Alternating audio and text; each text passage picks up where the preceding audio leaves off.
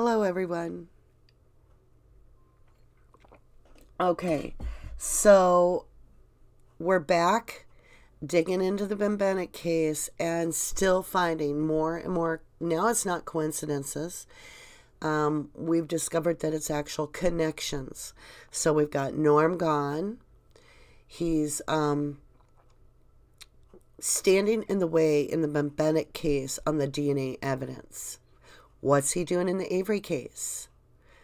He's standing in the way of us getting a hold of the DNA evidence. So he's playing the same role in both the Bembenek case and the Avery case. Look at Michael Camp. He's the head of the Milwaukee Crime Lab, right? He is signing off and putting files, falsifying files in the Bembenek case, admittedly so caught with his pants down, basically, for lack of better words. So Michael Camp then is the one that has allowed his crime lab assistant to sign off on the deviation of Sherry Culhane in the Avery case. And then let's see, we've got Norm Gahn. Okay, Ira Robbins brings up that there's a whole cover up on Ken Kratz so this is before MAM is even made. And Ira Robbins is explaining that if they're not going to, if they're going to create loopholes and new laws as they need them and then flip them back when they're done, they're acting like gods. Hi, Gloria. Good to see you. Hi, Justin. Justin's my faithful. He always shows up. I appreciate that. He's usually first one in the door. I really appreciate that. I want to bring this up. Um, Justin says was doing some um, of the blog reading, like following. They had a blueprint of what worked once and we're Yeah, I get what you're saying, Justin. Okay, so he's saying if you read the Bembenek case, it's like that's the blueprint and then you can lay that same blueprint with the same architects right over the Avery case. I get where Justin's coming from on that. And he brings up like the fact that the bullet was never logged out of the crime lab to be retested in Minnesota. So I want to jump right into this. Um, aw, that sounds good, Gloria. We'll be here for you. Okay, let's jump right in. So I want to talk about the, the murder weapon in the Bembenek case today. So I grabbed part 14 and then we're going to read about we're going to read about several weapons, okay? So we'll try to see if we're looking at the on-duty revolver, which would be the one carried while he, while Schultz was at work as an officer. We're going to read about an off-duty revolver that was supposed to be left at home and that's where Lori Bembenek gets accused because she's the only one at home with the off duty revolver, allegedly. Okay? So, here we go. It gets confusing. Okay? I feel like the, the guy off of, um, I can't remember, South Park or whatever. Okay? All right. Part 14 Which gun was it? On May 28, 1981, Christine J. Schultz was murdered by a single gunshot fired from a gun that was in direct contact with her back. That shot caused an imprint on her back similar to a hot iron used on a branded cow. Center photo of Exhibit 14 1. At Lori Bembenek's trial, the prosecutor claimed that Detective Alfred Schultz' off duty gun top photo of Exhibit 14 1 was the murder weapon. Since then, five internationally recognized expert pathologists have determined that Schultz off duty did not make the murder wound, but the wound had more likely been caused by a weapon such as his on duty gun. Bottom photo of, ex, of ex, can't read this morning, Exhibit 14 1. Part 7 of this blog spot has already disclosed that unexplained type A blood was found on Schultz's on duty gun and that Christine Schultz had type A blood. So let's go back and let's, we're going to return to this, but we're going to go to part seven because that's the part, it's going to make more sense for us, I believe.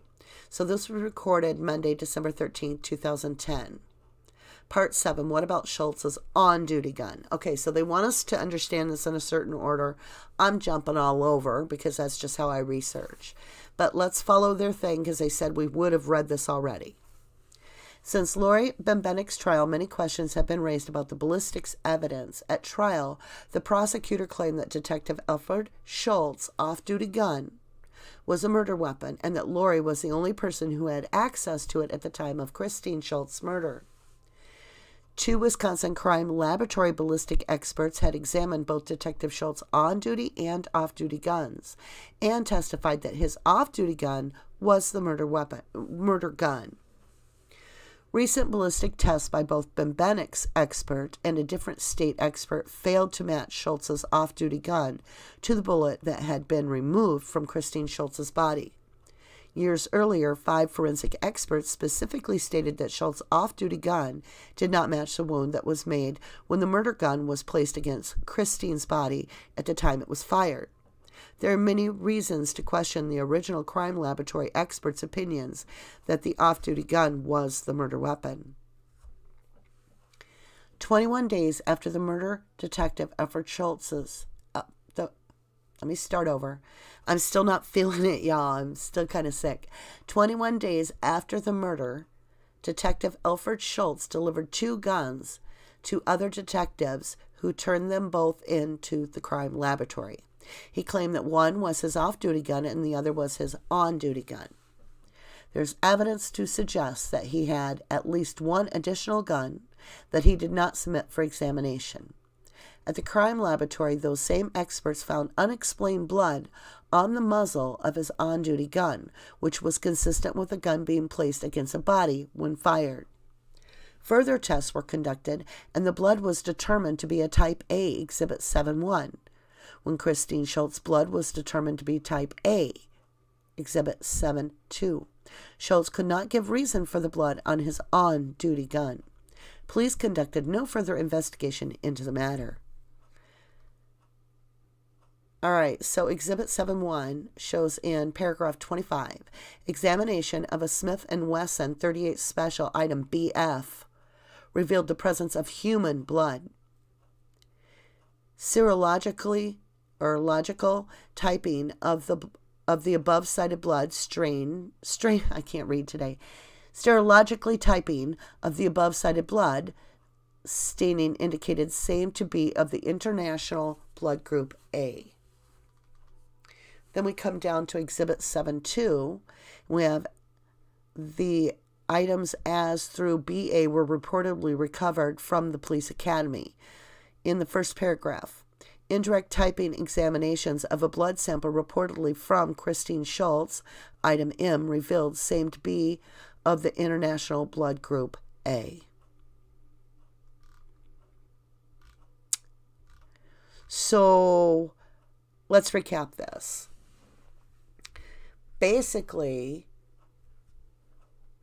Detective Schultz's on duty gun has actual human blood on the barrel consistent with blowback from a gun being placed on a body. We have experts that say that it would match the marking and they don't do any further investigating. Hmm. Because they're targeting one individual. One individual. They are tunnel vision. They're going to take Lori Bembenek down. And what do we have in the Avery case, you guys? Tunnel vision again. And it just, it breaks your heart to know that these individuals are innocent, both of them. Lori and Steven and Brendan are all innocent 100%. And this is what they do.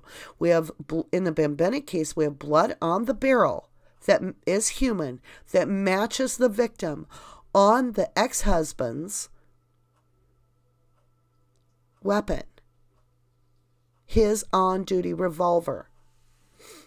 And he's supposed to be on duty when it happens. Hi, Eddie. How are you? Good morning to you. Hi, Kelly. So, blowback from the gun is ignored in the police investigation. Seriously, she says. Yes, Kelly, truthfully. Yeah, I am feeling a little better. I'm going back to work today. Thank you, Super Mario. I like your name, Super Mario Maker 2 Glitch Hunters. It is a deliberate frame job, Kelly. I totally agree. It sounds like one. Um, so if that's his on duty revolver, is showing that it's got blood, human blood on the barrel that matches the same blood type as his ex wife. And you look at that, and he should be prime suspect. And instead, they turn him into a star witness. And what do we have with Ryan Hillegas? With Ryan Hillegas, he should be the prime suspect, right? But he, he's not.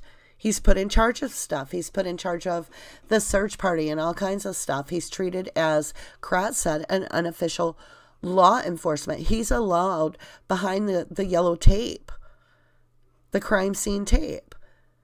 And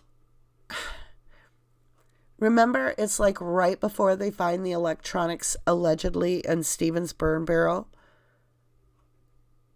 Ryan Hillegas shows up with Scott Bloedorn while everybody's out on Kuss Road checking out the old burial scene. It's just, it kills me. It just kills me. You know, I'm starting to walk this timeline out, and it seems to me that if we look at the Avery case, and we just did a, a glance over, okay, just a real quick glance over um, it would look like the killer would have originally put that vehicle out there on I 43 and that it got moved as a store facility, if you will, for a few days at Kuss Road until it could get moved on the 5th up onto the Avery property or a duplicate. And in the meantime, I think that left the remnants of what they find when they restage, as that paperwork said, on the back of their login and sh- sheets on the restage Kuss Road. I think the sixth and the seventh, they're finding the remnants of whoever did the cleanup and moved it from um, I 47, 147, I mean, onto Kuss Road much earlier. I'd say between the third and the fifth till they could get it up on the Avery property. And so when they come back on the 6th or the 7th, I think that's when they're basically just finding the remnants of the initial planting and transferring of everything. I did find it interesting when I was listening to Mind Shock and they were talking about the pupils um, or pupils or pupples. That's it, pupples I found that very interesting that it puts the timeline, if you follow the scenario that they were speaking of, um, it would follow the timeline that she would have been burnt after the law enforcement had the Avery property. And I thought their math was done very well. Um, so Kelly says Fox guarding the hen house. I agree there.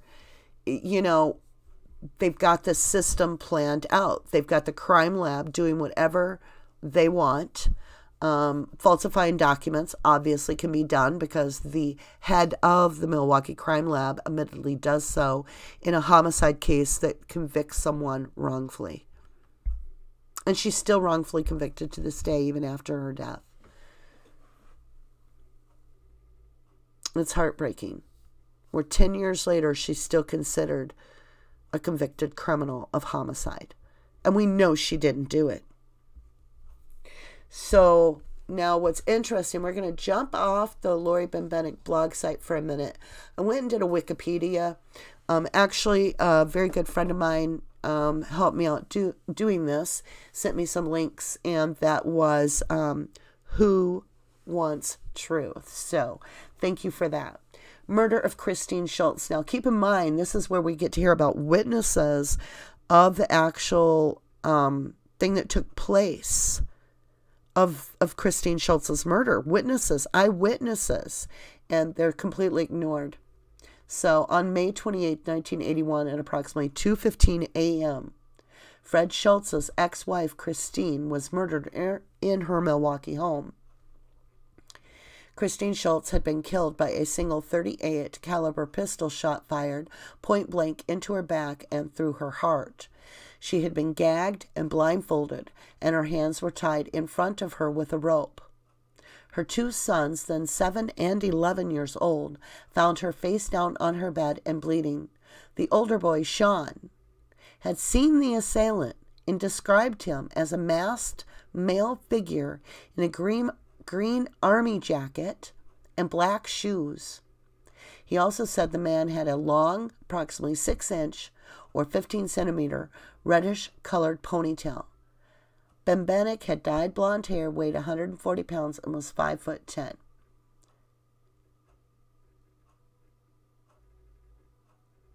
So they ignored. Let's jump ahead a little bit. Look at this. Fred Schultz had previously been exonerated in the fatal shooting of a Glendale, Wisconsin police officer on June 23, 1975. The Glendale officer, George Robert Sasson, had arrested a subject in a bar while off duty.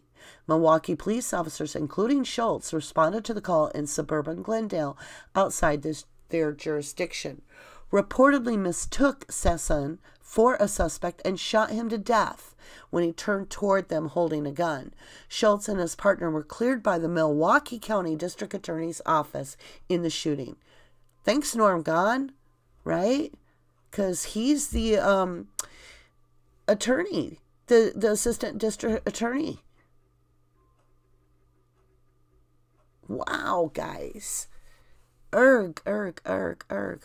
I can't.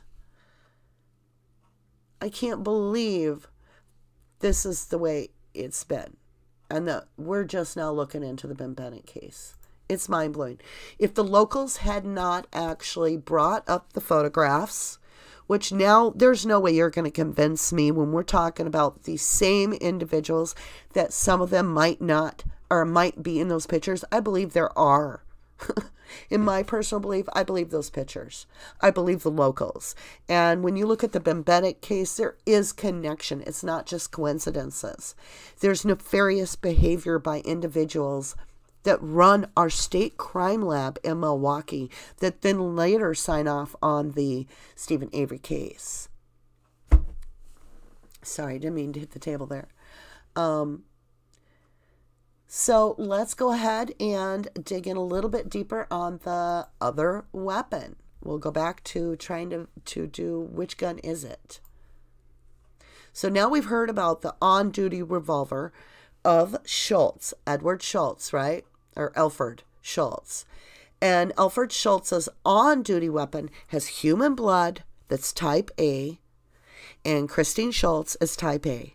Also, it, it shows the, the blowback on the gun that would be consistent to putting the gun to someone. This is his on duty weapon. Now, the state is doing their lie and their confusion, and they're trying to say that the off duty weapon was at home and he didn't have access to it. Only Lori Bembenek did. See, they try to make it very personable to her, right? But it doesn't make the wound that was left on Christine's back. So let's go into part 14 now. We read the top part, and we're going to jump right into. In rebuttal to the five defense pathology experts, Milwaukee County Deputy District Attorney Robert D. Donahoe obtained a report from a pathologist in Texas who had been reported to have created some, quote, junk science reports on other unrelated cases. That report claimed that Schultz's off duty gun had made the murder wound on Christine. However, Donahoe had never given his pathologist the photos shown in Exhibit 14.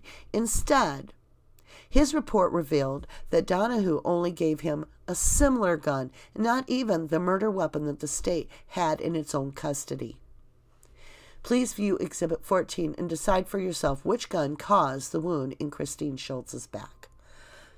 Okay. So on the top, we have Schultz's on duty weapon, magnified two times. And then we have contact with the wound. And then on the bottom, we have the off duty weapon. Oh, please. Okay, first of all, you guys, look at the narrow rim of the off duty gun. And then look at the width of the off on duty gun. And then look at the contact wound. I don't even have to be a ballistics expert. I think you could ask a first grader in this picture. Holy crap. You can even see the bruising from the size of the hole. So the size of the hole in the bottom off duty revolver is quite large compared to the wound, but yet it's small like the on duty. What do you guys think? Somebody hit me up.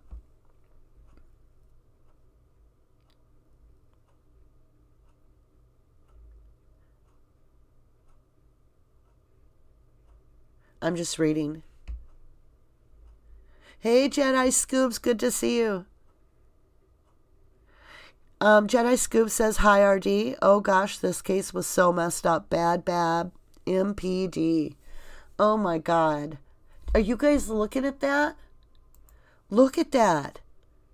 Is there any way that anybody can say, in their real belief in what they see, that the off duty gun could even come close?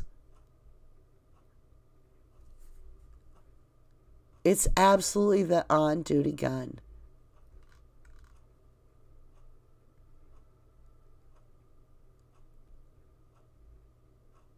Huh. I'm reading Anonymous. Looks like the gun in the top photo matches perfectly. So who did Fred Schultz give his on-duty gun to that night? Would you do that? Would you hand your gun off? There is there is um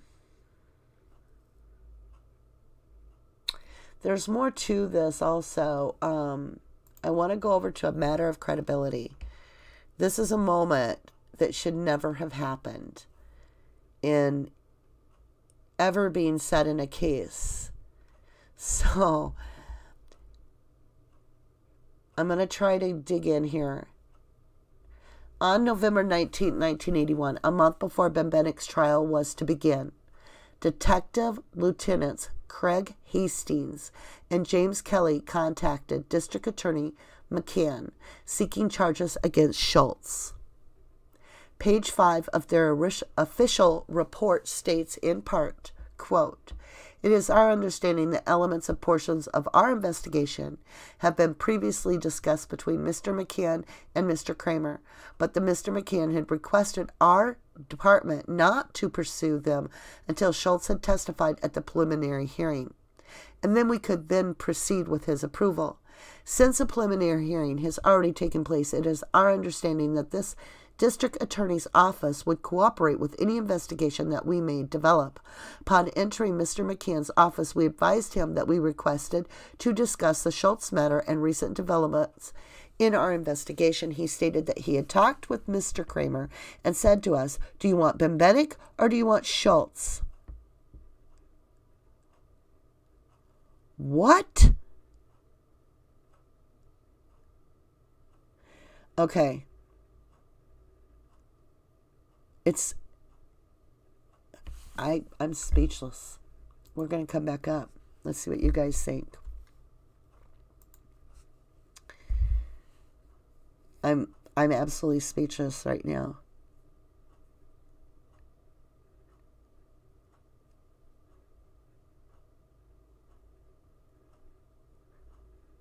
Justin says, um, Ira also made good point about conflict of interest with AG representing so many different sides at the same time. Yes. Justin says has to be the on duty. I agree. Kelly Perry says Steve Wonder Stevie Wonder might not be able to see it, but everyone else should be able to tell which gun was the murder weapon. Kim Craig says, I just wonder why are men dancing nude in front of kids most related to each other in crime, all the LE.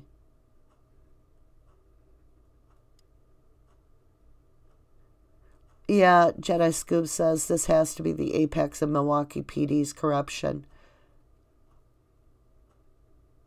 Yeah, if Big Brother's behaving this way, what do you think the little counties are behaving right below it?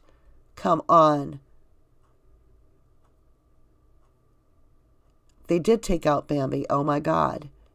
Literally. This is. She didn't like to be referred to as Bambi, so I don't like to say it too often, but they chose to convict a person that they needed to shut up. Remember, this didn't just come out of the blue. There was already a problem going on. So but Bennett had got caught smoking marijuana. And she was being judged for it as a cop. And she had found these pictures and she was saying, well, if they can do all this, and these are cops, then I want an investigation. I think I'm getting treated differently, right? They wanted to stop the investigation into the corruption of these photographs.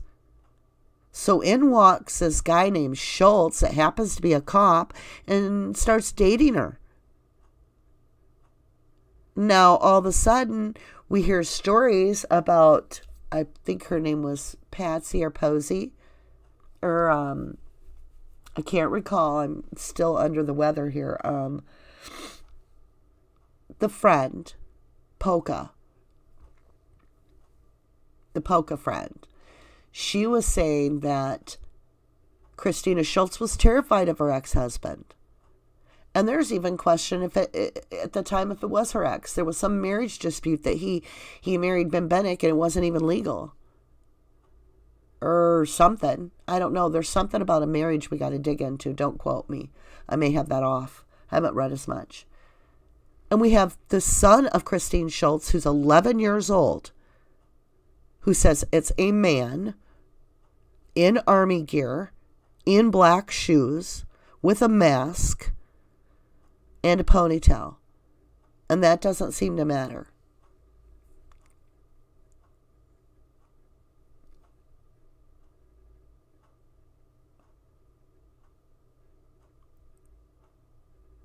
Justin says that is effed up. Jedi Scoop says at Craig, absolutely. Kelly Perry wants to know do they cut the deck of cards to decide who's in charge? It's a total boys club, Jedi Scoop says.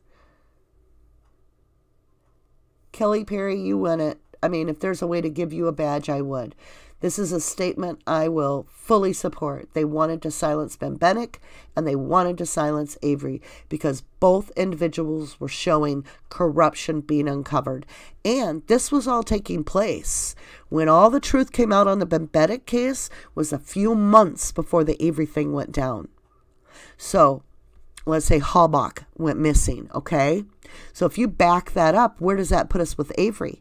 He's up on the national news saying he wants an apology. He wants accountability from a corrupt county, right? They felt threatened in the Bembenek case. They frame her for murder. What do you think they felt when all of a sudden legislatures were standing up with Steven? Big time people are starting to get recognition with Steven and putting their arms around this guy. He's starting to show the nation that there's corruption and they won't repent and they won't take responsibility and they are not going to say they're sorry and they're stubborn. So Steven's pointing it out. He he basically got silenced. And they shut up Bembenek and they shut up Steven and they did it the same way. Both of them, it's the crime lab is being used. And the DNA evidence is being refuted and held onto and hidden and and all this by Norm Gahn in both cases.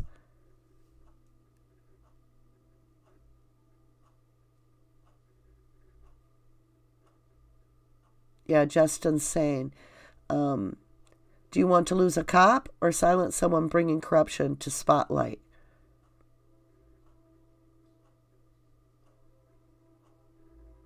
Kim Craig says that little boy will never forget who hurt his mama. Yeah, that's it. If anybody was going to be the best witness in the world, it is that kid. There is nothing he's going to forget in that moment. He's going to remember every detail. So there's depositions Justin's talking about, not to mention watching dep depositions. It's not looking good for. Yeah, the state level people are in depositions on the Bembenek case for the falsified information. Mark Williams is neck deep in it.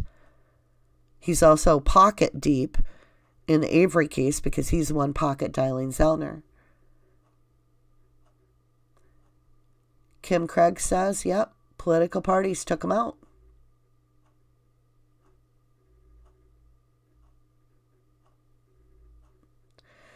Super Mario Maker 2 Glitch Hunter says allegedly the reason Ellie took the panels off in SA's trailer, The Walls, is they think the photos were hidden there.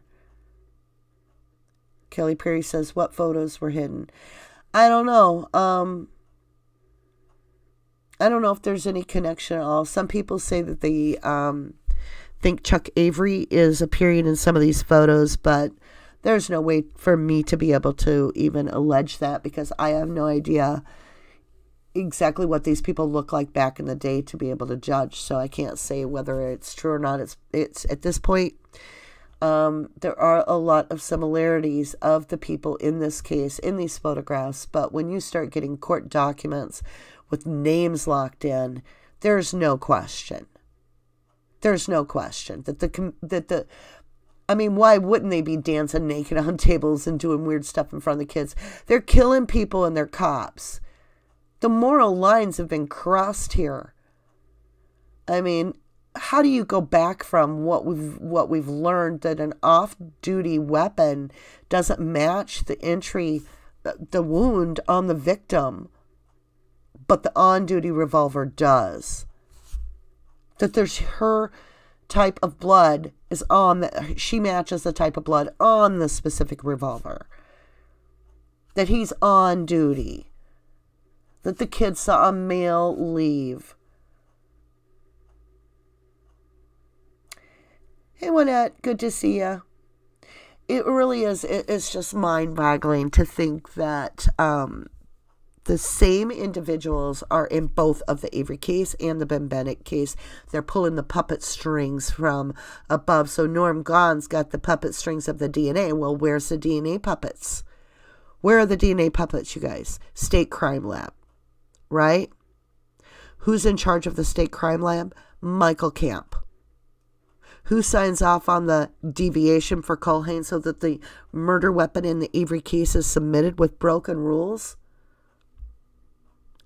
Milwaukee Crime Lab. Kim Craig says all the bondage cap. Did they do BDSM? KK was involved. Hey, KK could have been involved at this point. Who knows? I don't trust that man.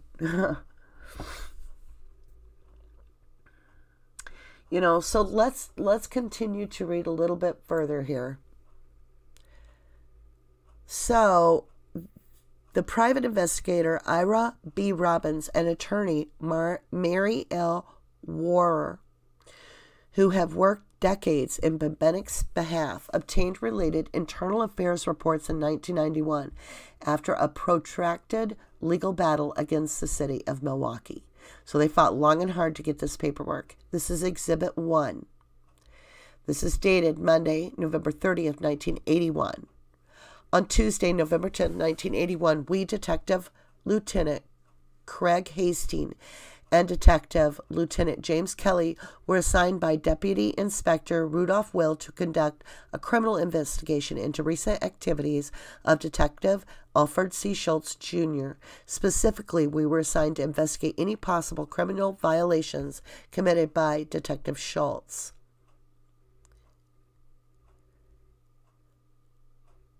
So, should we read this all? I think we should. Number one, in his marriage to Laurencia Bembenek on January 30th, 1981. Number two, in his testimony before the unemployment compensation hearing held on December 10th, 1981. Number three, in Detective Schultz's testimony at a preliminary hearing held on September 2nd, 1981, regarding the murder of his ex wife, Christine Schultz, and the arrest of Laurencia Bembenek. And number four, the alleged involvement of Detective Schultz with a picnic sponsored by, quote, the Tracks Tavern, in which nudity beauty contests took place. Our investigation into these four areas of possible criminal misconduct follows with the numbers in parentheses indicating that a copy of the material is attached at the end of the report. I'm going to grab a drink.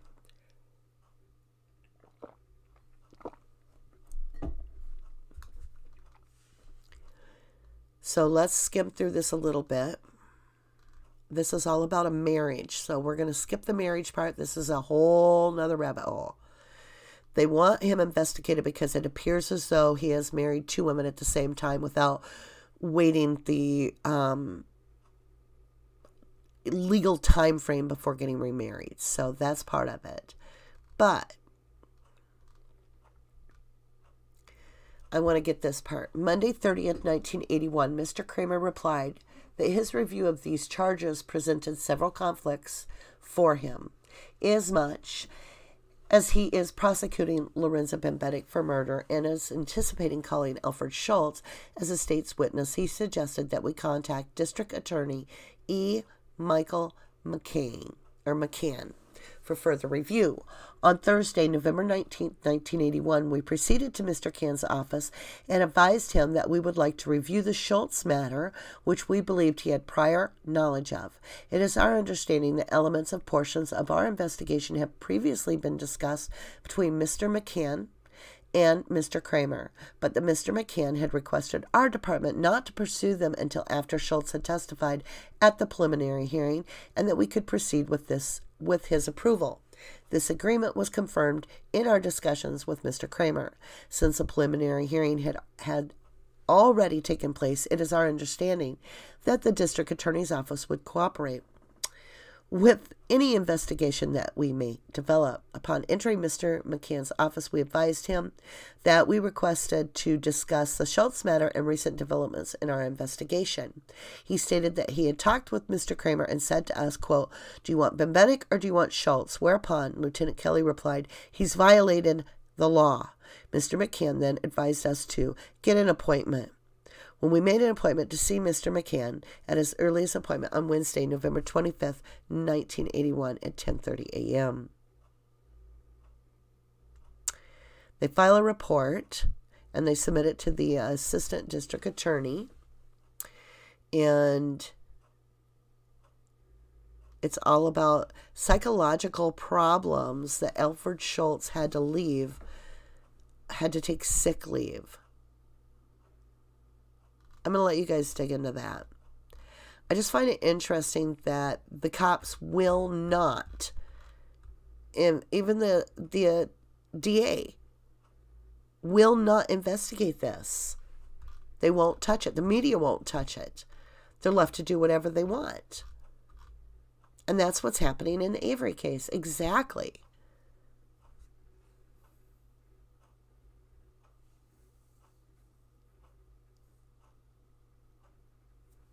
Perverted police picnic pictures. I love it, Kelly. That's exactly it. Perverted police picnic pictures. Jedi Scoop says, Cops lie and I do not trust the state crime lab.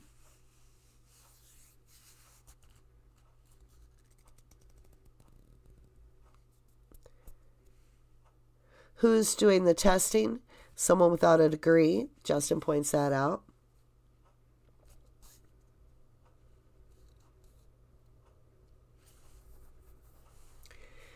Kim Craig says there's a lot of people covering it up. Like you start looking at it, and in the Bembenek case, it was the crime lab itself was falsifying documents, and they were being ordered by state, and that was used to frame an innocent individual and destroy their lives. And um, you know, it's it's heart wrenching to see that same pattern um, basically be stenciled on top of the Avery case and be allowed to continue with the same individuals. Kim says it's almost like someone acting like a cry a mob crime family. Jedi Scoop says, Where in hell would all these departments coordinate their cover ups? I don't doubt they did, but in the 80s, it's not like they had email cop spars.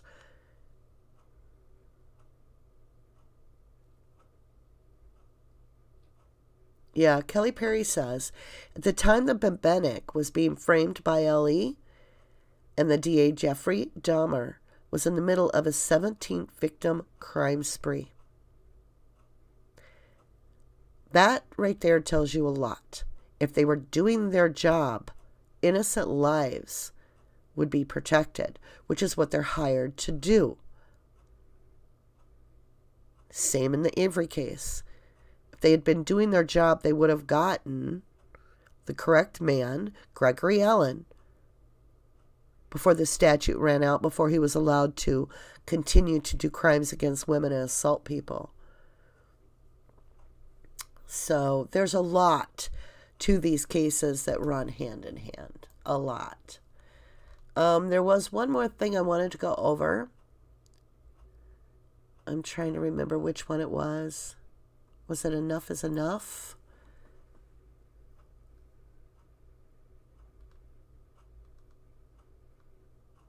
I don't think it was this one. Let me just check. Yes, it was. Okay, you know who Kim Skorlinski is. He's the DCI agent that takes a lot of the special agent reports that we cannot get any copies of in the Avery case. Every report that Kim Skorlinski has done is just evaporated. It's not something we seem to be able to get our hands on, right? Well, he's in this case too. He's in in this in this write up about this case, I should say.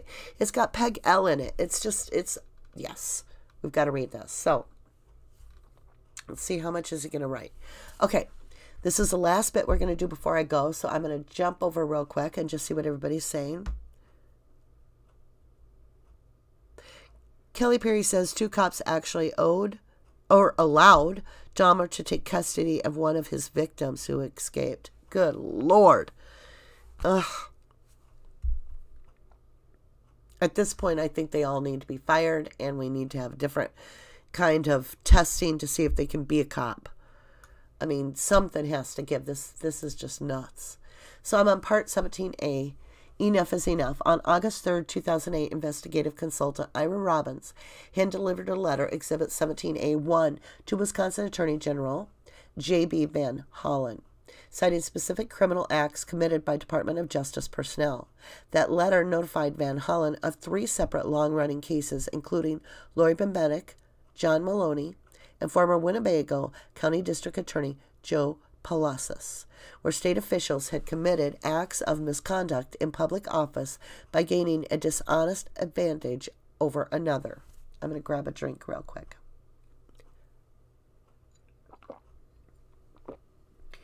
Robbins notified Van Hollen that his subordinates had false had placed a false document in a state crime laboratory homicide file, temporarily changed state protocols to obtain false expert testimony, and dismiss the credibility of the state crime laboratory. Robbins attached the necessary proof to his letter. Robbins also advised Van Hollen of some other additional crimes and ethical violations he had uncovered in Bembenek's case the John Maloney case, and in the former Winnebago County District Attorney Joe Paulus case. Robbins provided all of the proof and information necessary to show that Department of Justice officials conspired to deliberately interfere with the administration of justice, to deliberately withheld evidence from defendants that they were required by law to disclose, and covered up additional crimes of Mr. Paulus Robbins told Van Hollen, quote, if you were interested in rooting out the corruption that has been entrenched in the Wisconsin DOJ, and to the degree possible, righting the wrongs perpetrated in the name of justice, I ask that you have a member of your staff that you trust implicitly contact me. On August 11, 2008, Robbins received a response to his August 3, 2008 letter from Gregory Weber, director of the Wisconsin Department of Jim Justice Criminal Appeals Unit, stating in part, quote, Attorney General Van Hollen had asked me to respond to your August 3, 2008 letter. In Weber's letter, he made demeaning statements about Robbins, refused to respond to the specific allegations, and attempted to put the blame for the criminal conduct of the Department of Justice on others. He sent copies of his letter, which obviously attempted to cover up the truth, and stopped and stopped Robbins' efforts to seek justice.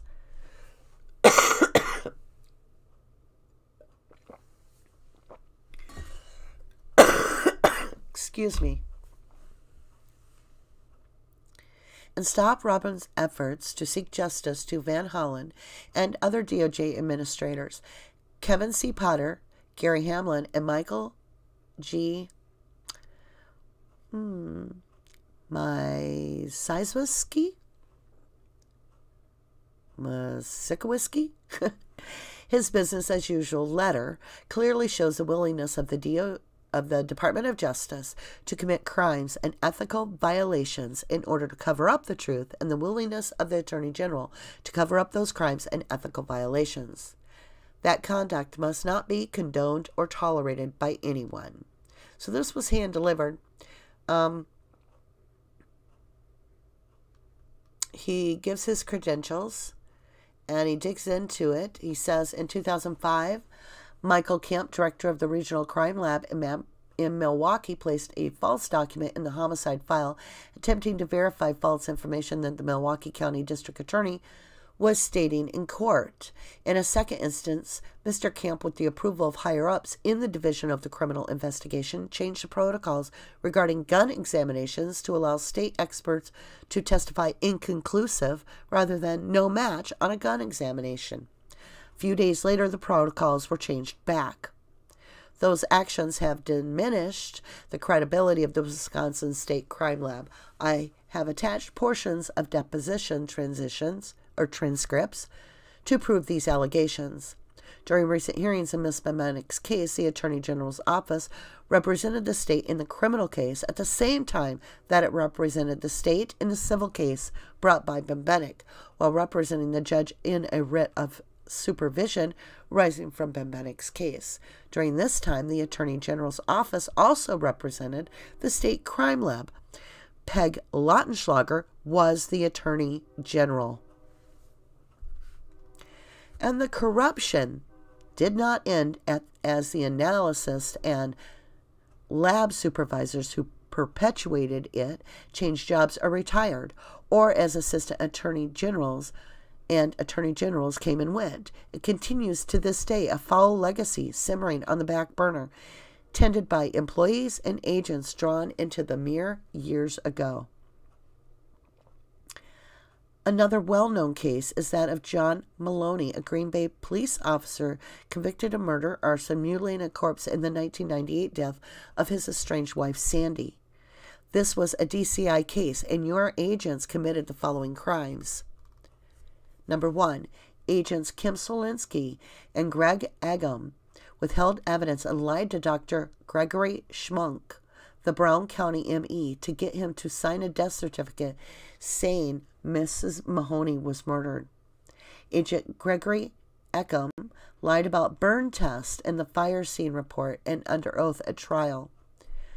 Number three, Arson Bureau Chief Carol Kelly lied to cover up Egam's lies. She provided false information to Assistant Attorneys General in order to keep them falsely believing that Egam had told the truth. Over the past 10 years, Egam has received help to stonewall investigation and thereby conceal Egam's perjury at every level of WDOJ. Former PEG, well, former Attorney General Peg Lautenschlager hired her personal attorney at state expense, Stephen Meyer, to conduct a sham investigation into the investigation of Mr. Mahoney's death. Meyer got Crime Lab ana- analysis to rewrite their reports nine years after the fact, refused to speak with forensic pathologists and other experts who reviewed the case independently, refused, in fact, to look at any of the arson claims and evidence at all, and based his conclusion that Mrs. Mahoney was murdered on his own review of autopsy photos that had been illegally withheld from defense. A subsequent application for investigation to WDOJ's Public Integrity Unit caused quite a stir, but was prompted, promptly rejected because Agam, both then retired and reprising his work privately for EFI, was acting as an agent of WDOJ when the conduct complaint occurred. A few days later, during a radio appearance, Peg Lautenschlager told Mr. Mahoney's, Maloney's son that he should request an investigation by the Public Integrity Unit she had founded, which had just turned him down. The cover up continued after you took office without your knowledge or consent. When State Journal reporter Dee Hall continued to push for the issue of documentation of Agam's purported burn test, Agam turned to Arson Bureau Director Kelly, Carolyn Kelly, faxing her, Boss, I need advice, fast. Miss Kelly told Miss Hall to come look through the DCI file herself. Miss Hall did so. There was no documentation of the burn tests. Miss Hall later learned from me that Miss Kelly deliberately misrepresented what Miss Hall was seeking, what she found, what she did not find, and her reasons for inquiring in emails distributed distributed to her own supervisor and to Assistant Attorney General, who had been involved in stopping Mahoney, Maloney's appellate efforts for years. It should be noted that Assistant I can't even do this, you guys. I'm too sick. You're going to have to do it. Attorney General must receive the truth from DCI and the Crime Lab if they themselves are to seek the truth. So it's going to go into a bunch more here about the um, the ballistics testing, the gun testing, and how there's um, 22 other cases. I mean, you need to read this. You guys dig in, please. Uh, let's see. I'm going to get off here because I've got to get ready for work. Um, but we were on part 17A. I know the end was, the reading was really rough because my brain is not functioning right. But obviously, there's enough to show that Peg L was helping cover up a lot of crap in this case, as well as other cases. And here she's the one that told Stephen that she would honestly say, in her opinion, um, that the counties did nothing wrong. Yeah. And now we've got Kaul, her son. Really? We got to start getting on the stuff. So we've got to really know who's coming into office and so forth. Um, let's see. Kim Craig says, lie detector them all. Oh, God, wouldn't that be great? Malia says she's at work or he's at work, but they cannot listen, but we'll follow the chat. Sounds good. Um, you can catch it later. Somebody let them know that they that person can come back. Malia, you can come back and watch it later. Um,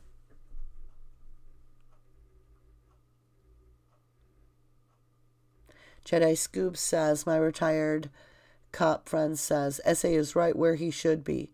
Proves cops protect cops. Uh, Jedi Scoop says, um, Peg Lautenschlager breeds corruption. Rest in peace. Yeah. True. Hey, Lulu, how are you? Good to see you, hon.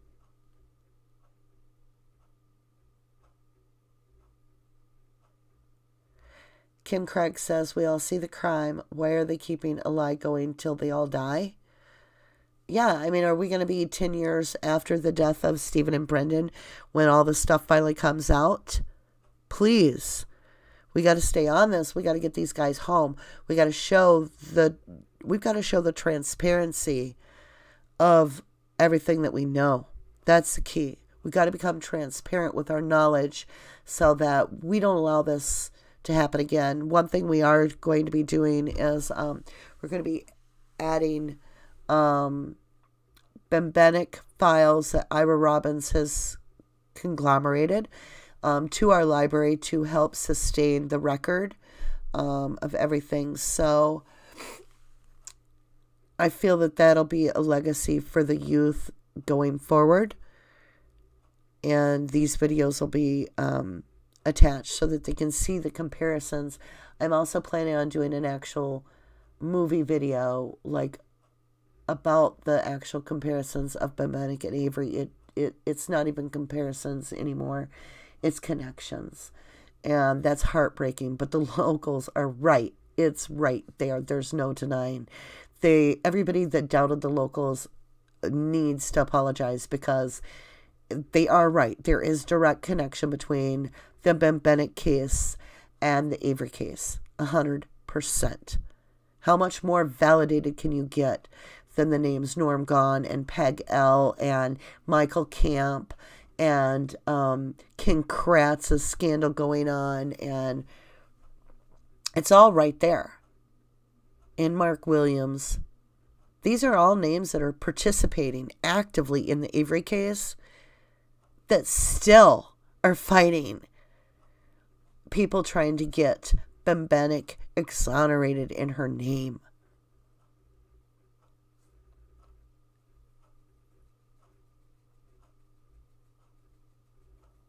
Yeah, I'm wondering now, you know, at what point at what point do we become some hidden site 20 years down the road that our youth stumble upon and say, wow, if we'd have known this, we would have been able to uh, be wiser. You know, are we doing our job in just promoting this this way? Or shouldn't we be, what are we supposed to be teaching our youth? I mean, look at the cops. And they're comfortable with this? They're comfortable with us telling our kids that stranger danger includes police officers? I'm I'm so saddened by this, but it's it's getting to be truer and truer.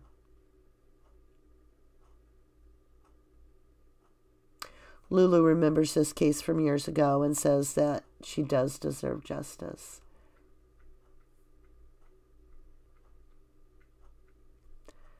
Melia says soon this will be taught in police school. Lesson cover up and framing. Save your asses. Yeah, Kelly puts this out there almost exactly the same MO between the two cases. Yeah. For real. John Boats, how you doing?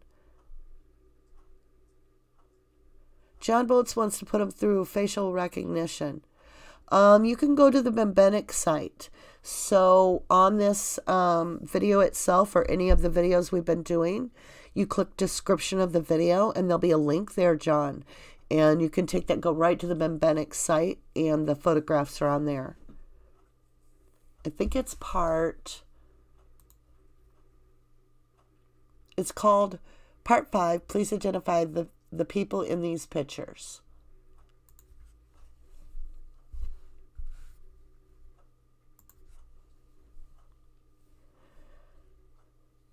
So hopefully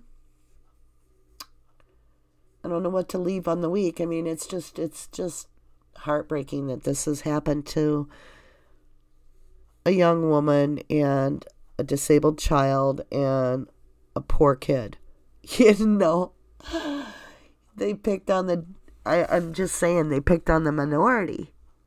That's what they did. They found people. They committed crimes, and then they hid the crimes by the the crimes were to serve a purpose when somebody couldn't be blackmailed, it sounded like, right? And the Ben, ben Bennett case had something to do with pictures, is why she was murdered, maybe, you know?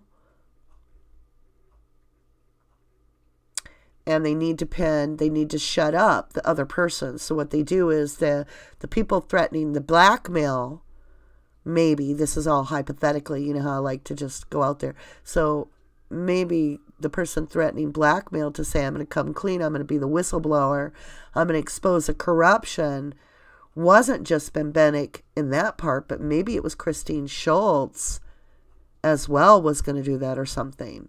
For some reason, she talked about pictures to the polka woman and not wanting to show one for embarrassment or something. So it was about pictures. And then she ends up dead. Well, isn't that coincidental that we have a photographer and we have Ryan acting like who's the ex-boyfriend acting like he's in charge of everything kind of like schultz did. And then the person that's making squeaky wheels over here about corruption ends up being framed for it. Kind of creepy how well that uh, tied together isn't it? Really does kind of make you look at ryan a second time third time fifth time millionth time I mean, all, all he's got to do if Ryan wants out from under this is just go talk to Zellner, work with Zellner. All right, guys. I sound a little better. Oh, that's awesome, Bob. Oh, thank you, Jedi Scoobs.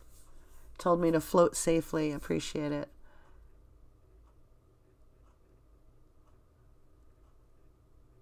I'm just seeing if there's anything we missed. Yeah, they're getting trash on others. Yeah. To save their own asses. Yeah, I mean, really, when you when you think of the Dave Bagatka um, stories he shared, which I've never doubted him, I have a lot of respect for Dave. High respect. I believe he's the first truther out there, the real blood, true blood. Um, he talked about these pictures and this type of behavior in these parties and these boys' clubs. And then we're looking at him in the Bembenek case, and uh, we're looking at the same people. And then we've got Teresa taking pictures. I mean, it starts really, she's not the nun that everybody in, you know, King Kratz painted this nun going to the nunnery. We know she's not, and she's taking naked photos. It's got to make you wonder, guys. So leave you with that thought. Love. Much love. I'd blow kisses at you, but I don't want to get you sick. Take care. Oh, yeah, we haven't said this in a while. If you didn't do the crime, you shouldn't do the time. Bye, guys.